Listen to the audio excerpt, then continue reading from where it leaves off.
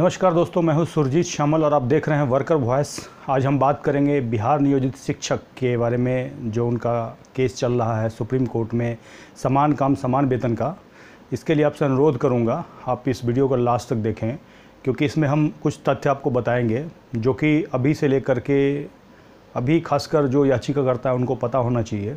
उसके साथ ही आप तमाम बिहार में काम करने वाले जो साढ़े तीन लाख नियोजित शिक्षक हैं, उनको भी पता होना चाहिए। क्योंकि इसके पहले भी हमने आर्टिकल के माध्यम से हमने मैसेज देने की कोशिश की थी लोगों में। इसका अच्छा खासा असर भी देखने को मिला था और काफ़ी संख्या में जो वहाँ के शिक्षक थे वो एकजुट हुए और एक मंच पे आकर के इस लड़ाई को लड़ने का आह्वान किया था, लेकिन वो सक्सेस हो नहीं पाया। तो आपसे अनुरोध करूँगा इसको लास्ट तक देखेंगे और साथ ही आपने अगर हमारा चैनल को सब्सक्राइब नहीं किया है तो आप इसको सब्सक्राइब करेंगे और साथ ही अपने साथियों के साथ शेयर करेंगे। 26 अक्टूबर 2016 का जो सुप्रीम कोर्ट का फैसला था, उसके आधार पर पटना हाई कोर्ट ने एक ऐतिहासिक फैसला दिया, जिसमें कि न केवल जो नियोजित शिक्षक हैं, उनको समान काम का, समान वेतन देने का ऑर्डर किया, बल्कि 2009 से उनको एरियर देने की भी बात कही गई। अगर हम मोटे तौर पे देखते हैं तो अगर एक शिक्षक की इस ऑर्डर के हिसाब से अगर चालीस हज़ार सैलरी होती है तो प्रति टीचर कम से कम 25 लाख रुपए का एरियर मिलना तय था। जिसके बाद मुझे क्या किसी को भी नहीं लगता है जो सरकार बिना सुप्रीम कोर्ट गए बहुत आसानी से ये जो सैलरी है, वो शिक्षकों को देती। लेकिन इसके बाद अब क्या हुआ, उस तक पे हम गौर करेंगे। इसके बारे में हमने पिछले भी, पहले भी एक दो तीन आर्टिकल लिखा अपने blog W W worker boys dot in उन आर्टिकल को इस वीडियो के डिस्क्रिप्शन में मैं दूँगा। आप उसको पढ़ेंगे तो आपको लगेगा जो जो अभी हो रहा है, वो काफ़ी पहले हमने बताया था अपने आर्टिकल के माध्यम से लोगों को। चाहे वह याचिकाकर्ता तक भी मुझे लगता है जो हमारा मैसेज है, पहुँचा था। और कुछ हमारे साथी हैं जो कि काफ़ी पहले से शिक्षकों को एक मंच पे लाने का प्रयास कर रहे हैं।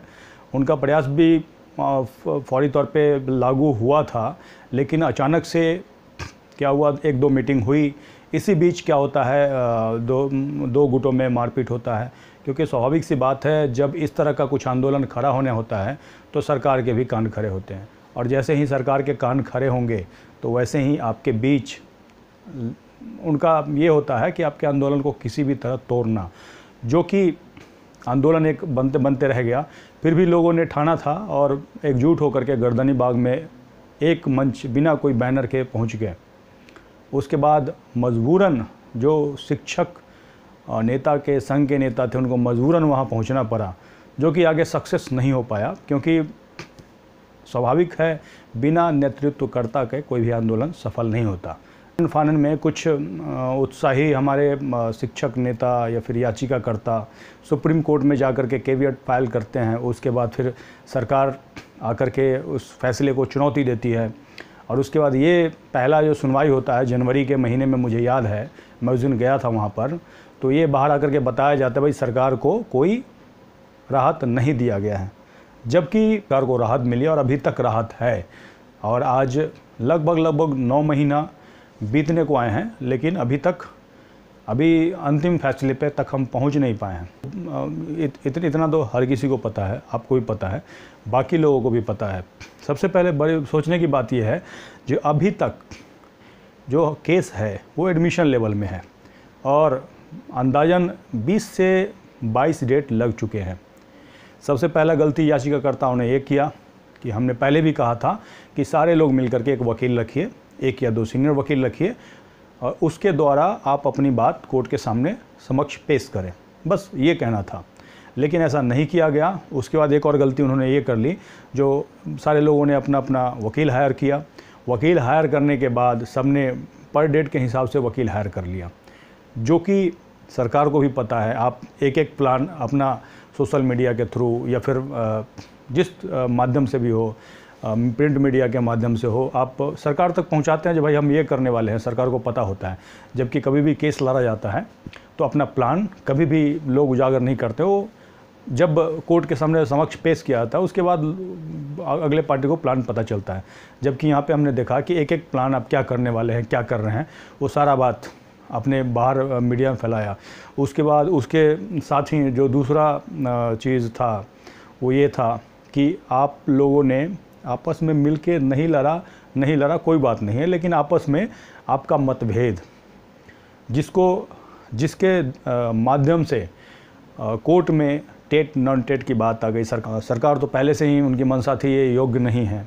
और आपके ही कुछ याचिकाकर्ताओं ने मिल करके योग आयोग की बात, टेट, नॉन टेट की बात फैलाई, वहाँ पे सबमिशन भी दिया। और जहाँ पटना हाई कोर्ट में करीब तेरह याचिकाकर्ता थे। अभी हमने सुना है कि जो सुप्रीम कोर्ट में 104 याचिकाकर्ता हो गए जिसके बाद स्वाभाविक सी बात है, हर कोई अपनी अपनी बात रख रहा है। लेकिन जो सही बात है, वो कोई नहीं रख रहा है। हर कोई कह रहा है कि हम योग हैं, हम योग हैं। लेकिन सोचने की बात है, यहाँ योग आयोग की कोई लड़ाई ही नहीं है। यहाँ पे जो सुप्रीम कोर्ट ने फैसला दिया था, वो हम आपको सुनवाते हैं। आज से करीब दो साल पहले 26 अक्टूबर 2016 को देश के सर्वोच्च न्यायालय ने कॉन्ट्रैक्ट वर्कर के लिए एक बहुत ही ऐतिहासिक फैसला दिया, जिसके अनुसार माननीय कोर्ट ने कहा था कि अस्थाई या कॉन्ट्रैक्ट पे काम करने वाले कर्मचारियों को भी नियमित कर्मचारियों के बराबर सैलरी मिलनी चाहिए। कोर्ट ने कहा कि बराबर काम के लिए बराबर पैसे को मानना होगा। कोर्ट के बेंच ने यह भी कहा कि कम पैसे देना दमनकारी है।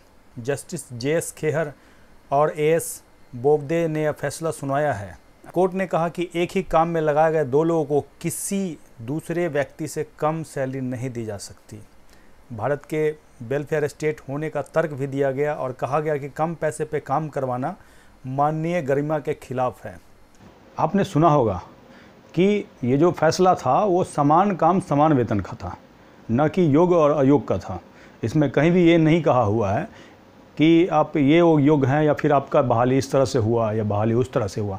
हाँ पहले ये था, पहले ये कानून था, क्योंकि एक सुप्रीम कोर्ट का फैसला आया था, उसमें ये कहा गया था जो भाई समान काम, समान वेतन के लिए तीन चीज़ बराबर होना चाहिए। एक एक्सपीरियंस बराबर होना चाहिए, एक उनका क्वालिफिकेशन बराबर होना चाहिए, और तीसरा उनका जो भर्ती है, उसका तरीका बराबर होना चाहिए। उसके बाद जो 26 अक्टूबर का फैसला आया था, वो काफ़ी ऐतिहासिक था। इसमें ये सीधा था जो भाई आपने काम बराबर कराया तो आपको दाम भी बराबर देना होगा। और मैंने देखा कि नियोजित शिक्षक के मामले में इस तरह की कोई बात ही नहीं की जा रही है। केवल बात ये की जा रही है जो हम ज़्यादा योग हैं, चाहे वो कोर्ट के अंदर हो, चाहे कोर्ट के बाहर। कोर्ट के बाहर हुए कह रहे हैं, जो, आप घबराइए नहीं, हम हैं। लेकिन सवाल ये है, आप आप जो पक्ष रख रहे हैं, वो कोर्ट के नज़र में, उसके कोर्ट के रिकॉर्ड में जा रहा है। और स्वाभाविक है, जहाँ तक आप पहले कहते थे तो एक दिन में हम चुटकी में हम सरकार को धाराशाही कर देंगे, जबकि आज सात महीना हो गया और बाईस डेट आपके ही माध्यम से मुझे खबर मिली। आठ से दस लाख रुपया पर डेट आप वकील के फ़ीस पे खर्च कर रहे हैं। और स्वाभाविक सी बात है, जहाँ पे बीस डेट गया तो सरकार को पता है, जो दस डेट और खींच दो, ये ऐसे ही दम बोल जाएँगे। कई याचिकाकर्ताओं ने कला के बयान दिया, जो कोर्ट ने हमें डेट दिया और मात्र हमें पाँच मिनट सुना, हमें दस मिनट सुना। तो उनको भी समझ में आ गया, ये, यह बात तो मुझे पहले ही समझ में आ गया था, ये हमने ब्लॉग में भी लिखा है। कि आप कितना भी मेहनत कर ले, कितना भी ज़ोर लगा ले, लेकिन ऑर्डर वही होगा जो जज साहब चाहेंगे। आपके चाहने से नहीं होगा। आप चाहे कितना भी आप फोर्स क्यों नहीं हो, लेकिन आंदोलन एक ताकत होती है, उसमें आपका ताकत काम करता है। यहाँ पे आप कितना भी ताकत लगाएँगे तो जज साहब के जज साहब जो फैसला देंगे वही होगा। लेकिन हमें डर है, जिस तरह से आपने सबमिशन रखा है, कल को कहीं एग्ज़ाम कंडक्ट ना करा दिया जाए। लेकिन आपको अभी एक मौका है अभी आपको रिज्वाइंडर देने का फिर से कहा गया है। तो जब, जहाँ तक आपका, आप बता रहे थे कल तक केस क्लोज हो गया है, लेकिन अब फिर से रिज्वाइंडर यानी कि आपको दोबारा से एक मौका मिल रहा है तो अभी से कोशिश आप ये कीजिए, जो जितने भी याचिकाकर्ता हों, चाहे 104 हो, चाहे 107 ही क्यों ना हो, आप आपस के तकरार को बंद कीजिए। इसके साथ ही हो सकता है, आप थोड़ा देर के लिए आपको लगेगा, जो मैं गलत बता रहा हूँ। लेकिन जो मैं फैक्ट बता रहा हूँ, वो सही है और इसको आप अनुभव कीजिएगा तो आपको लगेगा जो एकदम सही राह मैं बता रहा हूँ। आपको कुछ नहीं करना है, आपस में एक दूसरे से बात कीजिए और एक मीटिंग रखिए। मीटिंग रखने के बाद आपस में तय कीजिए, चाहे वो आपके वकील हों, चाहे उनके वकील हों, किसी एक या दो वकील को रखिए और रिज्वाइंडर उनसे करवाइए।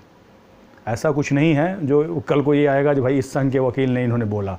उस संघ के वकील ने। आप लोग एक साथ घोषित कीजिए, खड़ा होकर के भाई सब मिल करके हमने फैसला किया, जो ये वकील साहब हमारा रिज्वाइंडर रखेंगे। और बस एक बात रखिए, जो सुप्रीम कोर्ट का जो फैसला है, उसी के आधार पे पटना हाई कोर्ट का फैसला को लागू किया जाए। क्योंकि ये फैसला सुप्रीम कोर्ट ने ही दिया था, और वहीं पे आप खड़े हैं, और मुझे ये समझ में नहीं आता कि आप सुप्रीम कोर्ट को पिछले नौ महीना से समझा नहीं पा रहे हैं कि ये उन्हीं का फैसला है। साथियों, आपसे अनुरोध करूँगा कि आप डिस्क्रिप्शन में जा के जो पीछे हमने आर्टिकल लिखा है, पढ़ें जो हमने आशंका पहले ज़ाहिर की थी, उस तरह का ही माहौल कुछ तैयार हो रहा है। अनुरोध करूँगा आप हमसे बने रहें, आगे भी मुझे कुछ जानकारी मिलेगी तो मैं आपसे शेयर करूँगा। धन्यवाद।